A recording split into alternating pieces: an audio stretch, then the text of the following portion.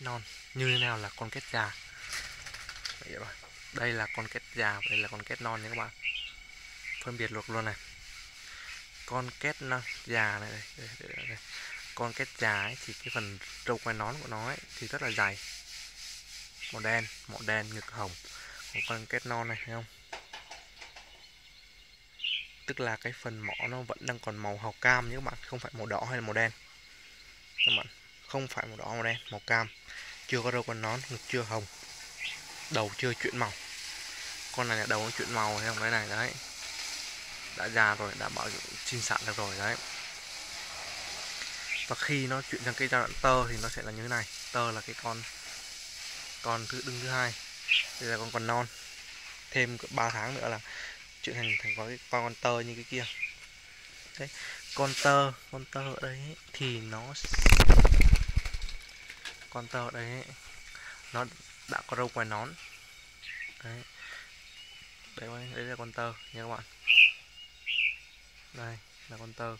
Còn đây là con còn non này. Mọ vẫn chưa chuyển nào này. Mọi con đực con cái là đều chuyển sang màu đen nha các bạn.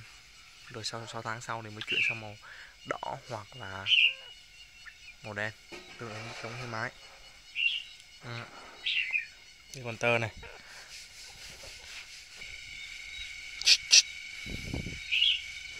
Đây là con tơ này. Nào, đấy.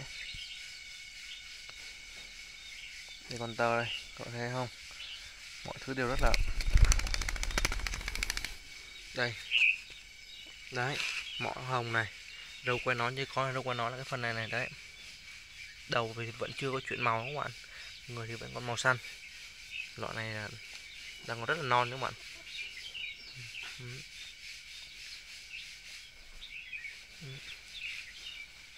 đoạn này thì khả năng nói được nha các bạn.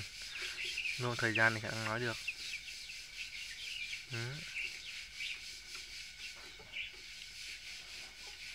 Bay lắm rồi đấy. Thôi thôi thôi. Không bay không bay em ơi.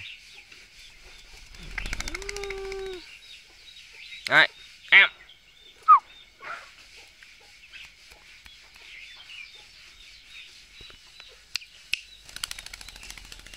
Em muốn bỏ đi rồi đấy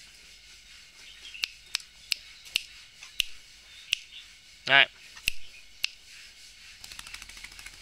Các bắt lại chứ không thì nữa.